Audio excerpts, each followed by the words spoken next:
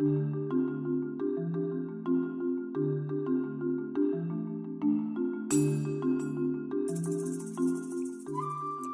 guys, let us look at the weekly meal planner for last week.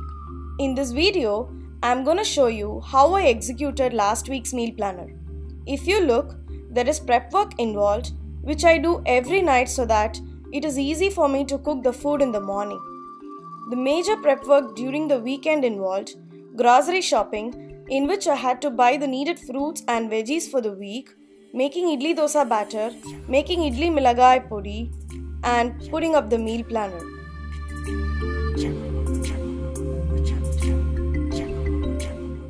Let us look at just the lunch and dinner specifics in this video. For my prep work on Sunday night, I had to grind the peas and make peas paratha dough. On Monday, I cut the brinjals in the morning and made eggplant fry, made peas paratha for us and as well as for my kid. Our lunch was peas paratha, brinjal fry, curd and pickle. For my kid, I made star shaped peas paratha. Kids' lunch was shaped peas paratha, grapes and cookies. For dinner on Monday night, I made rich curd chutney and idlis using the batter. So for dinner we had idli with chutney and milagai podi. For the healthy side of our dinner, I soaked some chickpeas for 2 hours and then made chickpea salad too. On Monday night, my prep work included making ginger garlic paste, washing methi leaves, cutting the carrots for my kids' lunch, and keeping aside rice and other items to make methi pulav in the morning. On Tuesday morning, I made methi paneer pulav, so our lunch was methi paneer pulav and curd. I boiled carrots and made ghee rice with paneer for my kid. His lunch was ghee paneer rice, clementines, and star shaped boiled carrots.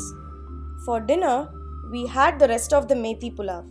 My prep work for Tuesday night included cutting the broad beans and soaking the chickpeas and rice. On Wednesday morning, I prepared lemon rice and broad beans fry.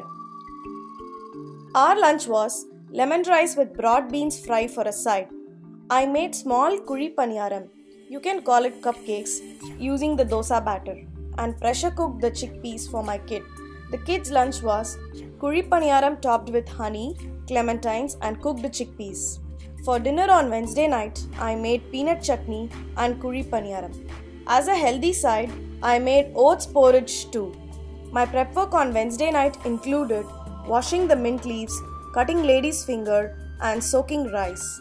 On Thursday morning, I made mint chutney or togayal using the mint leaves that I soaked the night before and mixed rice with that. I also made okra fry for a side. Our lunch was mint rice with okra fry.